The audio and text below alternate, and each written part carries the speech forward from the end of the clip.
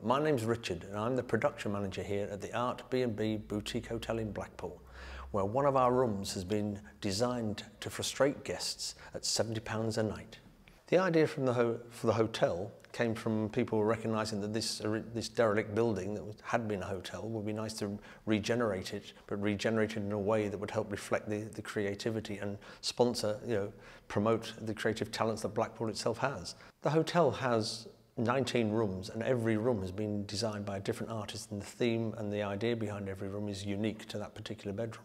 The unfriendly or the frustrating room we've been talking about earlier was designed by a gentleman called Christopher Samuels, who's a disabled artist from Leicester.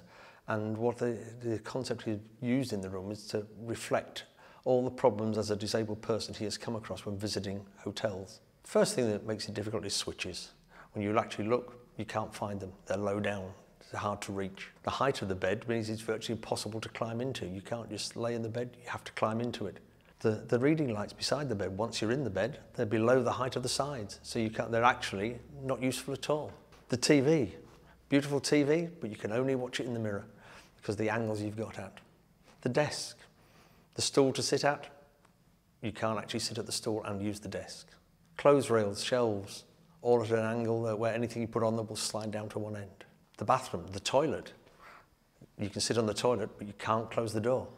And if you want to have a shower, you can't get the soap out. It's upside down. We have actually had a couple stayed in here. The launch for the artists to, so they could all see each other's work.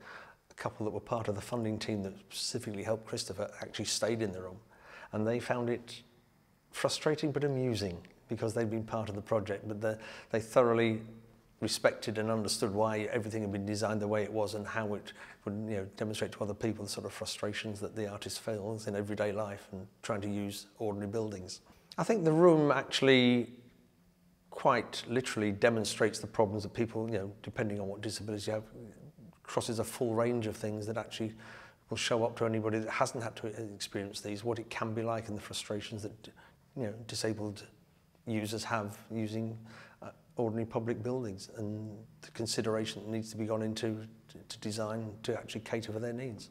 I think the future is looking very bright for the hotel. The responses we've had specifically to Christopher's room initially, but the fact we've got 19 different unique artworks in here from some world famous artists, some local artists right across the community will help generate the interest and make sure it's a successful, thriving business.